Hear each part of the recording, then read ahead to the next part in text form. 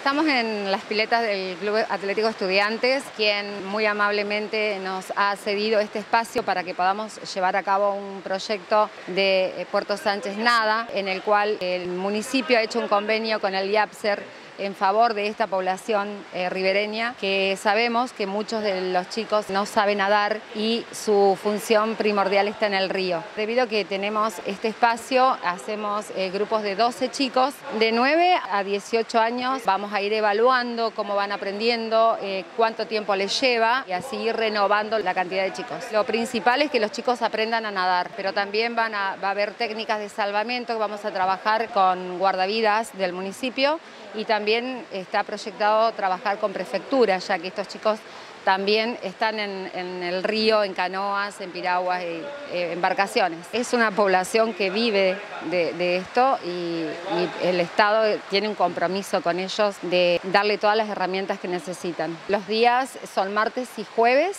de 8 a 9 de la mañana están abiertas las inscripciones, tenemos espacio todavía, así que se pueden acercar a la, vecinal de Puerto Sánchez, se pueden acercar a la Subsecretaría de Deportes del municipio en calle Santa Fe 266. Básicamente lo primero que hacemos es con un testeo, decimos que el chico nos muestre qué sabe. En base de lo que pueda saber mucho o poco, trabajamos en desarrollarle y sobre todo perfeccionar la, la natación. Empezamos de lo básico, que sería el crawl, y de a poco vamos tratando de que depende de lo que cada uno ya tenga incorporado y si no tiene incorporado nada, bueno, el desafío es que se lleve al término de esto algo positivo. El programa apunta a eso, a que el chico, al estar tan cerca o tan en contacto con el agua, maneje el tema de saber nadar. Lo primero que hay que tener en cuenta en el agua es la tranquilidad. El ponerte nervioso o el desesperarte no ayuda en el agua, ni a los chicos ni a los grandes tampoco. Inculcarle esto de la tranquilidad y de tener claro cómo defenderse en el medio acuático es muy diferente del medio del río con la pileta. Se puede incorporar cosas, se puede aprender cosas que después ellos lo pueden llevar a cabo en un medio tan cercano que ellos tienen por vivir pegadito al río.